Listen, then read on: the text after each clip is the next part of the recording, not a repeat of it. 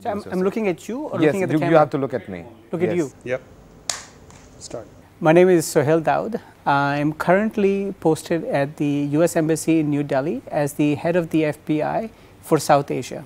How many complaints does the FBI receive from American citizens? It's approximately, it used to be about 120 a day. Now, this year it is 140 complaints a day. That's the tip of the iceberg. What is the FBI doing about these fake callers and uh, these call centers? So our goal is to identify the victims in US. If we can identify the subjects in India and then prepare packets or information that we can share with uh, the law enforcement in India.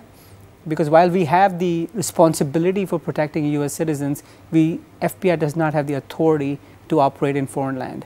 So we rely heavily um, and we work very closely with the local law enforcement and Indian federal law enforcement for um, combating this transnational uh, cybercrime. How do these uh, scammers dupe Americans from here?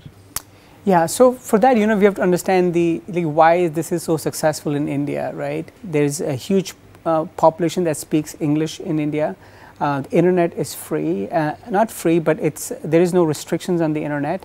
You see that you, you'll have Indians who are living in maybe even the remote villages who are willing to willing to and they're able to learn the way the Americans talk. They're willing to uh, learn through YouTube, through Facebook on how to convince Americans to send money over. A lot of times people don't realize they've been scammed. When they realize they've been scammed, they're actually very em- embarrassed about it. And depending on the amount of losses, which we have seen anywhere from few hundred dollars to few hundred thousand dollars, which is the complete life savings, this can completely destroy somebody's life. Can you tell us about some cases that have stayed with you?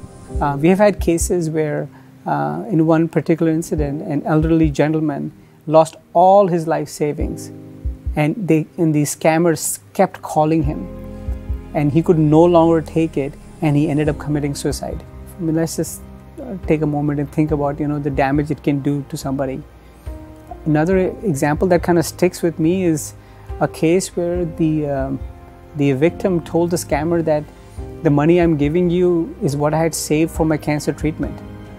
I have no no more money left for my cancer treatment and the scammer did not hesitate for a second and he took that money. So, you know, these are the stories that stick with you. This is this is a crime of, you know, there's a monetary loss, but there's a lot of humanity that's lost with it as well.